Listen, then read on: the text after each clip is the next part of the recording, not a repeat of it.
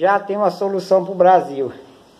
É só acabar com segunda, terça, quarta e quinta. Deixar só sexta, sábado e domingo.